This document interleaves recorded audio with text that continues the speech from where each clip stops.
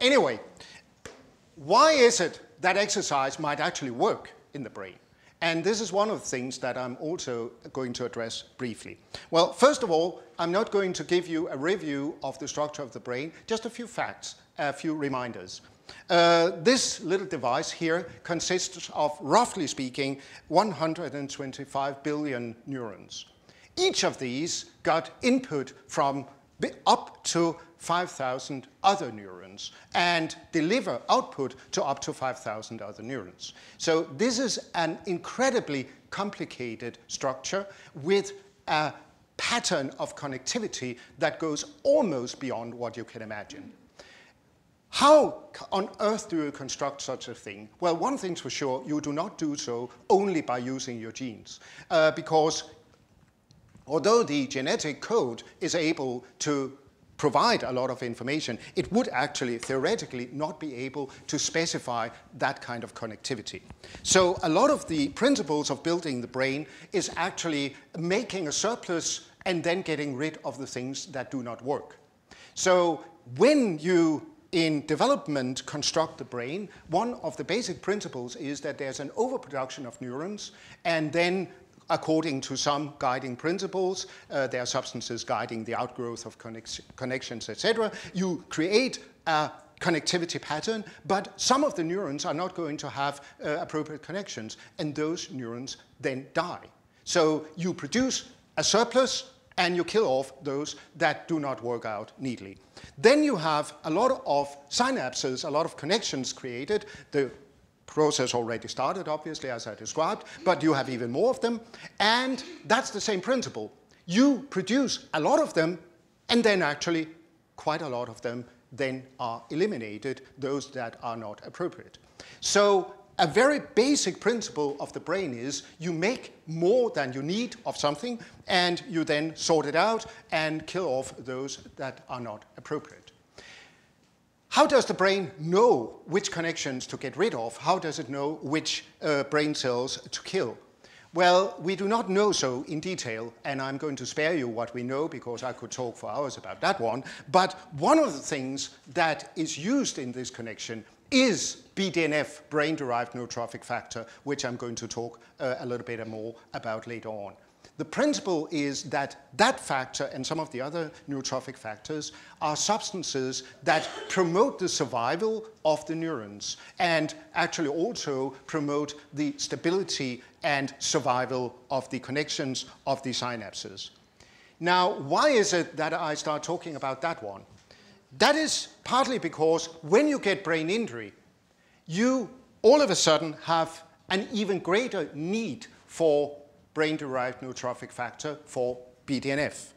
If you get stroke, uh, again, I could talk for hours about this, but the short version is you have a blockage of the blood supply, you have a dysfunction because uh, some of the energy demanding pro uh, processes in the neuron um, aren't working, the pumps that are going to keep the balance across the membrane are dysfunctional because of a lack of energy, and you have a hyperexcitation of the neurons, so they basically excite themselves. You have an input uh, that is too strong. It includes the neurotransmitter glutamate and includes a lot of influx of calcium into the cell. Now, you have in traumatic uh, brain injury, that's a simplified graph, and uh, I could spend the afternoon trying to work through this one. Uh, then you would fall asleep, that for sure. But anyway, again, in both instances, what you end up with would be, in many cases, an activation of a suicide mechanism within the cells. Uh, an influx excessive influx of calcium will trigger something called DIABLO, which will inhibit some of those substances that can lead uh, to a blockage of apoptosis. So in other words, when you have that high influx of calcium, you actually trigger uh, a suicide mechanism in the neurons. So this means that when you get brain injury, a lot of the mechanisms are actually internal cellular suicide mechanisms. And another area in which these suicide mechanisms uh, will, we just skip that one for a moment, uh, will take place are in areas connected to the part of the brain injured originally.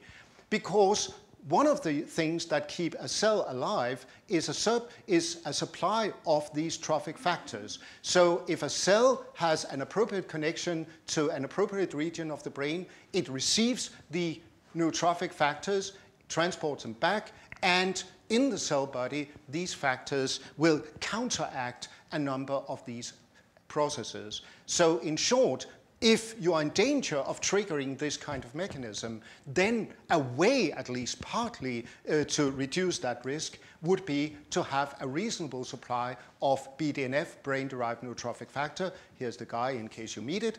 Um, that's the portrait of the protein. And so if you get brain injury, there's no way to prevent that injury from being there. If it's stroke, some cells would already have died by the time you encounter the first symptoms. If it's a tra traumatic brain injury, TBI, uh, you fall down the stairs, you're hit by a car, etc. Uh, of course, there is some mechanical injury to the brain. But the point is, this is only the first step. Regardless of whether this is stroke or mechanical injury to the brain, the process continues. Because now some part of the brain is missing.